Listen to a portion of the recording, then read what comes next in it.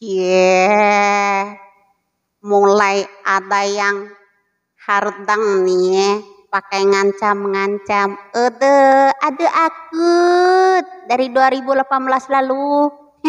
Ada yang minta Sherlock, ya, ada yang ngancem-ngancem. Aduh, atut.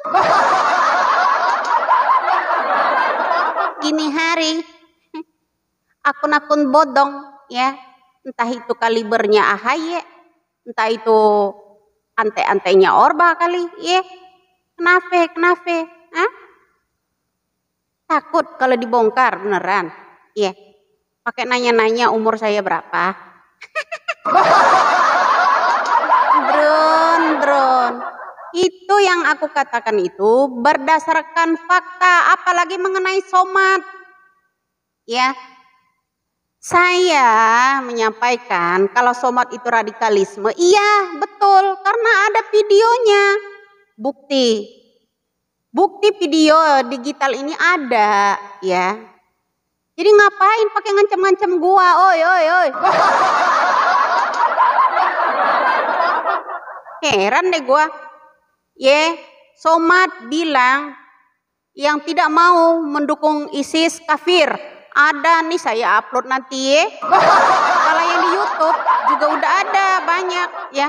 Udah saya upload bahkan orang udah dibaca kok subscribernya juga banyak ya kan. Nah nggak bisa dibohongin lagi. Pertama dia mendukung PKS. Partai apa yang uh, menurut Ustadz paling baik? Partai PKS. Nah itu satu. Kedua, kita pakai cara Islam dulu. Nah, kalau udah aman ya, terkendali ini ya, baru kita hilapa masuk. ya kan? Mau bohong gimana lagi, woi? Terus siapa sih yang membenci ISIS? Ya, bagi itu kaum yang membenci ISIS dialah kafir. Ada semua. Ya, itu berapa itu? Nanti saya upload. Ngapain pakai ngancam-ngancam saya gini hari? Masih teriak-teriak PKI. Kalian tahu PKI itu rekayasa siapa? Hah? PKI itu rekayasa siapa? Anto mau tahu? Ya, tuh saksi pada saat penculikan tujuh jenderal itu, ya termasuk tendean dia menyaksikan tuh ada Bapak AKBP, ya agen polisi dua Kramat Jati, namanya Bapak Sukitman, eh, saksinya masih hidup, oi.